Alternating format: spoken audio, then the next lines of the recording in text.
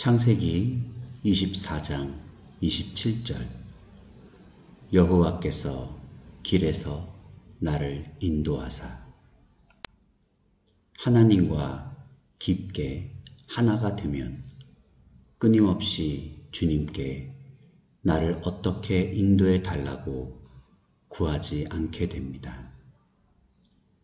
거룩하게 되었다는 뜻은 우리가 하나님의 자녀가 되었다는 뜻이며 자녀라면 불순종을 원하지 않는 한 자연스럽게 순종할 것입니다.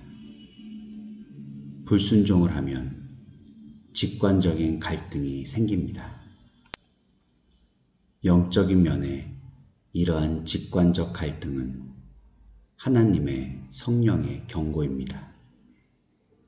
성령께서 이러한 가책을 주시면 당장 멈추고 우리의 영을 새롭게 하여 하나님의 뜻을 분별할 수 있어야 합니다. 만일 성령으로 거듭난 후에도 주님께 이렇게 저렇게 나를 인도하여 달라고 요구하는 것은 경건을 포기하는 것입니다. 여호와께서 나를 인도하사 만일 우리가 하나님으로부터 거듭난 사람이라면 지난 날을 돌아볼 때 우리에게 놀라운 섭리가 있었던 것을 알 수 있습니다. 그래서 우리는 하나님께 영광을 돌리게 됩니다. 우리는 모두 예외적인 사건 가운데 하나님을 볼 수 있습니다. 그러나 모든 상세한 일들 속에서 하나님을 보려면 영적 훈련이 필요합니다. 절대로 우연하게 발생하는 일들이라고 하여 하나님과 무관한 것으로 보지 마십시오.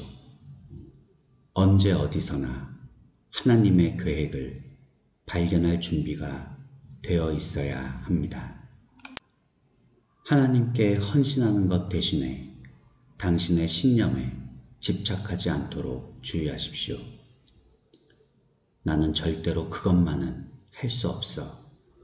라고 말하지만 어쩌면 그것이 당신이 성도이기 때문에 해야 하는 일일 수도 있습니다. 세상의 눈으로 볼 때 예수님은 전혀 일관성이 없는 분으로 보였습니다. 그러나 주님은 하나님 아버지를 향하여 변함없이 일관되었습니다. 성도의 단 한 가지 일관성은 원칙이 아니라 신령한 생명입니다. 신령한 생명은 끊임없이 하나님의 마음을 더욱 알려고 할 것입니다. 주님께 충성하기보다 자신이 믿는 바에 광신하는 것이 더 쉽습니다. 그 이유는 하나님께 충성하려면 놀라울 정도로 우리를 낮추는 일들, 특히 우리의 종교적 자만을 낮추시는 일들이 있기 때문입니다.